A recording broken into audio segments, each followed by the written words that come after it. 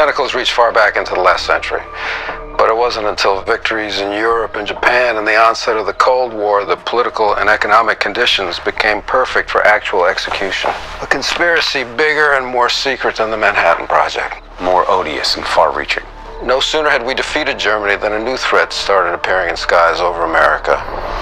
Drawn to Earth by the latest threat to extinction, the H bomb. Explosions acting as transducers, drawing alien life forms through wormholes in spaceships using electrogravitic propulsion. Advanced extraterrestrial species visiting us, concerned for mankind and the threat of our self-destruction, forestalling our annihilation through their own self-sacrifice, and crashes at Roswell, more importantly places like Aztec. World leaders signed secret memos directing scientific studies of alien technology and biochemistry. Classified studies were done at military installations S4, Groom Lake, Wright-Patterson, and Dulce. Extracting alien tissue.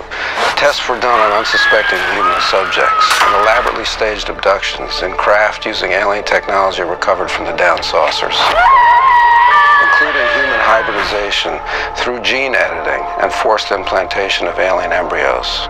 Why do such a thing and lie about it? Our own government. Your own government lies as a matter of course, as a matter of policy. The Tuskegee experiments on black men in the 30s, Henrietta Lacks.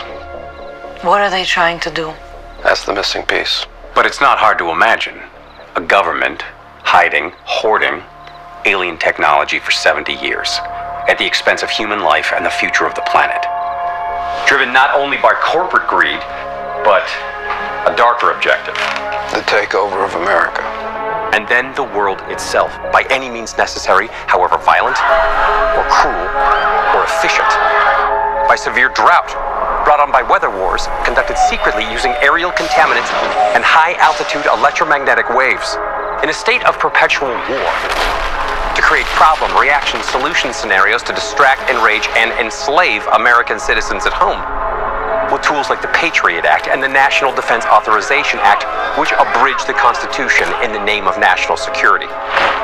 The militarization of police forces in cities across the U.S., the building of prison camps by the Federal Emergency Management Agency with no stated purpose, the corporate takeover of food and agriculture, pharmaceuticals and healthcare, even the military in clandestine agendas to fatten, dull, sicken, and control a populace already consumed by consumerism.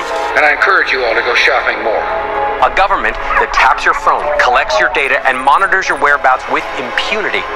A government preparing to use that data against you when it strikes. And the final takeover begins. The takeover of America. By a well oiled and well armed multinational group of elites that will cull, kill, and subjugate. Happening as we sit here. It's happening all around us. The other shoe waiting to drop. It'll probably start on a Friday.